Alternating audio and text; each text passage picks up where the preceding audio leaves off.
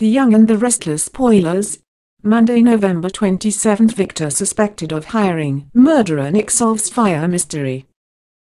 The Young and the Restless Y and R spoilers for Monday, November 27th tease that Victor Eric Braeden will be on a mission. Thanks to Zack's Ryan Ashton involvement with Abby Melissa Ordway and Newman Enterprises, Victor's in a real bind.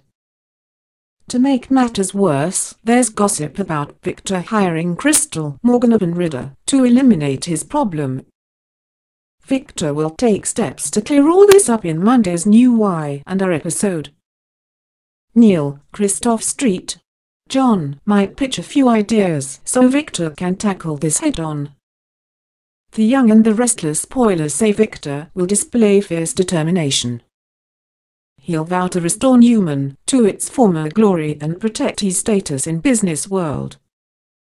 While Victor focuses on Newman's future, Jack Peter Bergman will mull over his personal life. Now that he knows Dinah Marla Adams has Alzheimer's, Jack intends to make her the priority. He'll be taking a leave of absence from Jabot so he can care for his mom. It looks like Jack won't have much time for Nikki, Melody Thomas Scott, anymore. Dinah's all that matters to him right now. Will Jack decide to end this romance? He knows his relationship with Nikki drives Dinah crazy.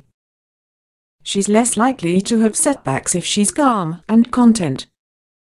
The young and the restless spoilers say Jack will consider his options and make a decision.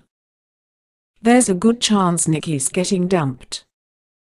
Elsewhere, Nick Joshua Morrow will try to solve a mystery. He's the top suspect in the fire investigation, but he'll believe someone else might have torched the underground. Nick will concentrate on finding new clues. He'll hope to locate some proof that could clear his name and lock up the culprit. Y and R fans know Dinah accidentally started the blaze, so this could lead to some tense moments. If Nick eventually learns the truth, he may think Dinah was targeting his family. After all, Dinah badmouthed the Newmans before stabbing Nikki. Jack could explain, but the revelation might make him reconsider taking care of Dinah himself. She may need more monitoring than Jack can do on his own. Of course, it's also possible Nick will make a big mistake. What happens if he blames the wrong person for this fire? That could certainly stir up some trouble, too.